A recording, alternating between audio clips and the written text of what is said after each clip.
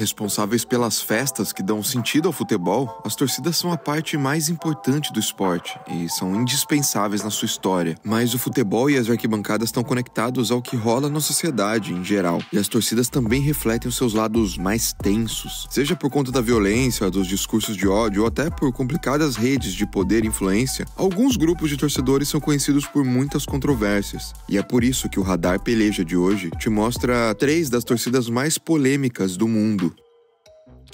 Começando essa lista, a primeira torcida se destacou pelo envolvimento em casos de brigas e violência física no século passado. O Millwall não é muito conhecido pela sua história dentro de campo, já que só jogou a primeira divisão do futebol inglês duas vezes e não tem títulos de expressão, mas o clube é famoso em toda a Inglaterra pelo histórico surreal de violência da sua torcida. Com o crescimento do hooliganismo nos anos 70 e 80, os torcedores do Millwall ganharam cada vez mais notoriedade pela quantidade de confusões que eles arranjavam. Em 1977, o programa programa Panorama da BBC investigou o comportamento do F-Troop, como era conhecido o principal grupo organizado do clube naquela época. Esse documentário, que além das brigas generalizadas, expôs as conexões da torcida com ideias racistas, piorou a imagem do clube no imaginário popular. As décadas seguintes foram marcadas por vários episódios de invasões de campo e de violência generalizada envolvendo os hooligans do Millwall, que ficaram nacionalmente famosos como Millwall Bushwhackers.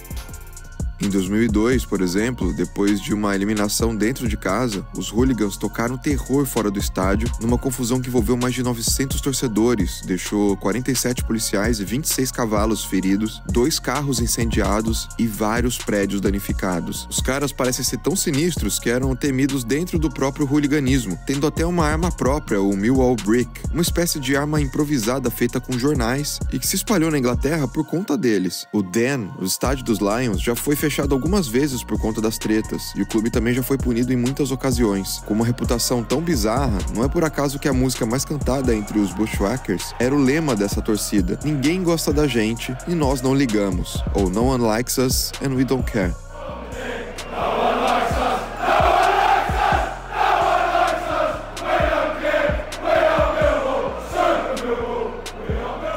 Apesar dos hooligans se orgulharem da fama, boa parte da torcida não gosta dessa reputação e vem tentando mudar ela nas últimas décadas. O clube também quer transformar essa imagem e desde 1985 coordena o Millwall Community Trust, um programa que busca criar oportunidades educacionais, sociais e esportivas para a comunidade local, além de apoiar questões contra a discriminação e a exclusão.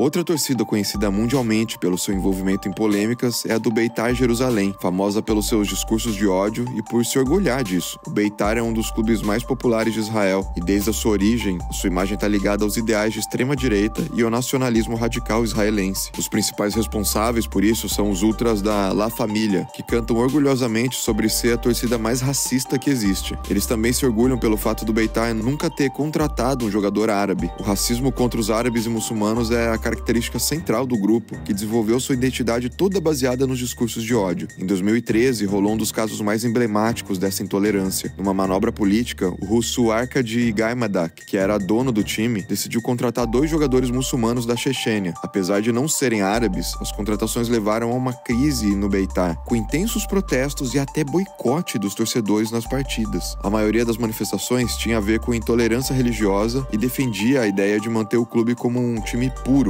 essa história deu origem ao documentário Forever Pure, que apresentou as polêmicas da La Família para os fãs de futebol do mundo todo e reforçou o clube como um símbolo de ódio. Se você gosta das tensões sociais e políticas que o Peleja traz de vez em quando nos conteúdos, vale a pena assistir esse documentário. Os ultras do Beitar também estão historicamente ligados ao controverso Liquid Party, um partido político conservador de Israel, e por isso os torcedores se envolvem em todos os processos políticos do país, principalmente na defesa de políticas violentas e intolerantes.